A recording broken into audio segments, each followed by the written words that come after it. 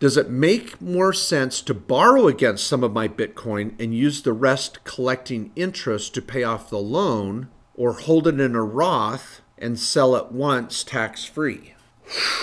wow, tough question. The first answer that comes to mind for me is Brady. Do both. Because, see, look, at if you've got Bitcoin and you're borrowing against it, the first thing I want to know is what are you using the money for that you're borrowing against it? Now, ooh, here's an idea. Okay, this is good. This I'm just this is a new strategy. I'm just kind of off the cuff here with. This is kind of fun. So let's say Brady has a day job.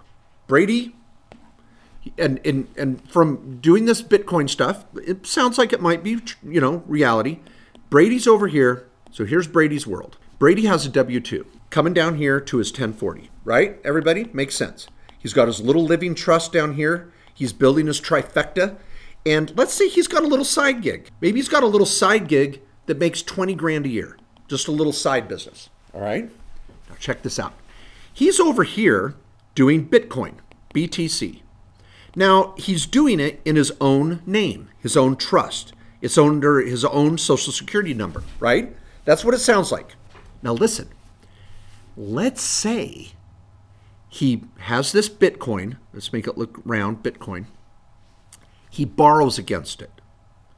And he takes that borrowed money and takes some of it and funds a Roth IRA.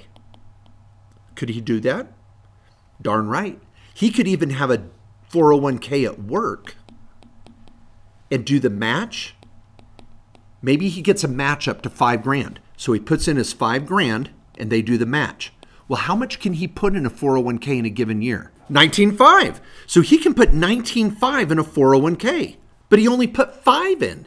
The company match doesn't count towards the 19.5. So he can do 14,500 more. Now check this out, everybody. This is sweet. I just got tingles. I'm excited.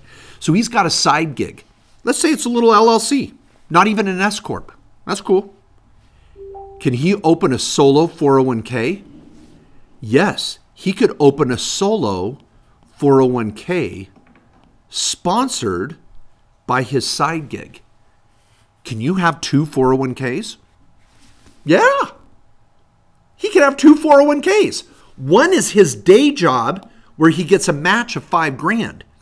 But now he's going to borrow money from his Bitcoin, fund his Roth, and he's going to borrow some more, put it in his side gig as a contribution, which he can do, and fund his solo 401k, what's the difference? 19.5 minus 5 grand. He can do another 14,500. That could be Roth. Then he's got his 6 grand here in Roth. He's now got $20,500 in a Roth. Put that in a little bucket. And then over here, he's got 10 grand in this bucket at work. You guys see that? Okay, now this is good. I think Brady's going to like this. So Brady's got Bitcoin and it's in his own name. Nothing we can do about that. He's sitting on it. I can't move that into a Roth, but he can borrow against the Bitcoin to buy Ethereum, Litecoin, Doge.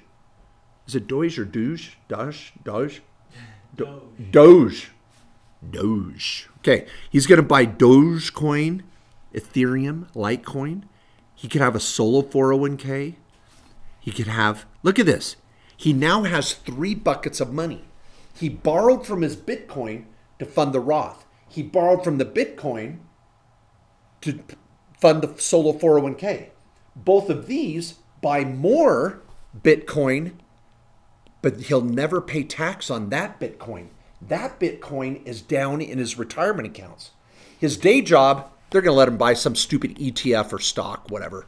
But over here, the interest that he earns might be able to pay off the interest on the loan and it's a neutral, right? That's what you're trying to do, Brady. You're trying to make this loan and interest thing neutral, but use the money to build another Bitcoin bucket. Boom! That's kind of fun.